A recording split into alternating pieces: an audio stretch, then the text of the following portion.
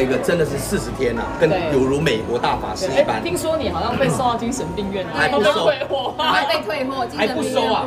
已经演大法师了还不收，对蛮严重的。连我爸爸妈妈都想放弃我。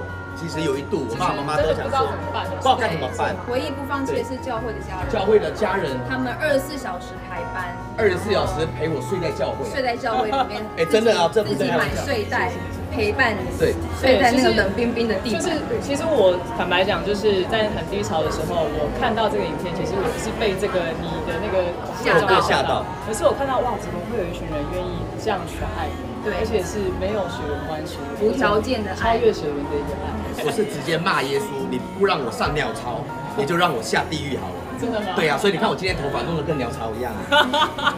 我跟神呛完之后，他每一天都很摸摸我，跟我说你要去哪里，你能去哪里这样。然后我都不理他，我说我话都讲了，你没听到吗？这样。然后结果前一天发生这件事情的前一天，我就一直哭，不知道为什么哭。然后我就发觉有一一个电流在摸我说不要害怕，发生什么事我一我一定与你同在。然后隔一天他在日本录影，然后我就在家里。红姐那时候知道这个事情，应该也吓一跳，会这样。吓一跳，因为他在日本我堂哥就跟我说，哎、艾辰怪怪的，艾辰不对劲，好像已经不是他了，你要不要你来看一下呢？因为他就用我的他的手机跟我视频，然后我叫他他都不理我，所以其实那时候我觉得，哎、到底发生什么事情，蛮恐怖的，其实是一个非常。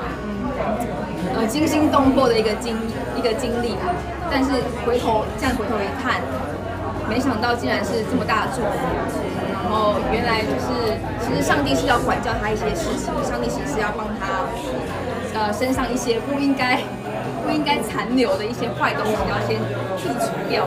骄傲吧，我觉得骄傲去无存精，就是一句话嘛，上帝真的主导骄傲的人，赐恩给谦卑的人。所以我永远看到那些谦卑的人都很很好，过得很平喜乐，过得很平安。